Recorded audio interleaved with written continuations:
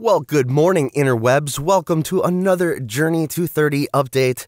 Uh, we are on day 11 of set 7. Set 7 is just cruising along, I tell you. Had a couple of things going on in terms of we had a holiday weekend, had uh, my best friend's um, 30th birthday party. It's kind of funny. He hit 30 as I'm hitting the halfway point of my journey. And, um, yeah, lots of things going on with the kid. My wife went back to work. Um, she's a teacher, so um, we've got that going on. Just a lot happening. And with all that, of course, all the products or projects and everything we're looking to finish here in set seven, uh, so that I can head into to set eight feeling awesome. Um, things are moving a little slowly, not as not as quickly as I would like. Uh, I'm definitely not getting as much done. Um, as I was as I would like, um, but working on a few projects right now. One of them being um, better solidifying Fiverr gigs, better solidifying uh, a couple of one off projects, as I'm calling them, getting the recording done for that, getting the editing done for that.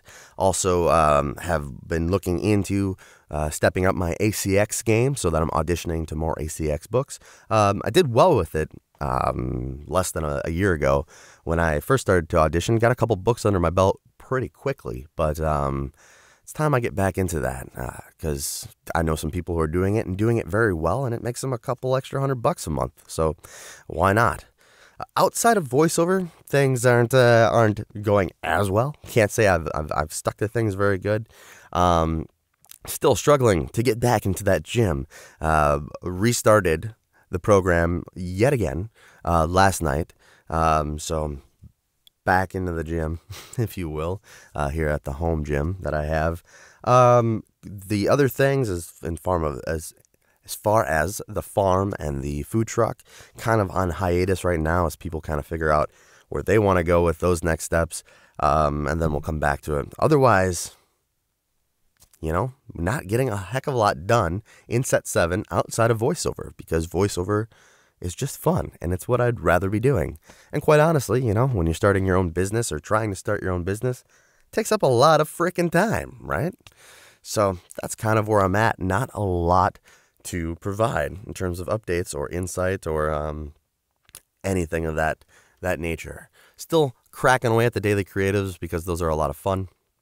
Um, yeah, uh, really, set seven is just going to be about getting those projects done. Oh, one big project that I do know I'm, I'm taking on uh, is going to be just a smaller demo production, taking some of the works I've already had and uh, and compiling them into a, a, um, homemade demo.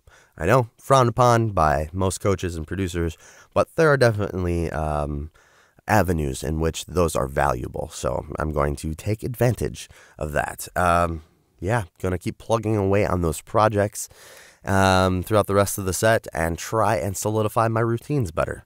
Uh, waking up in the morning early, getting that workout routine out of the way, um, getting some sales calls and sales pitches out of the way early, whether it's uh, perusing through social media to, to find leads or um, anything of that nature.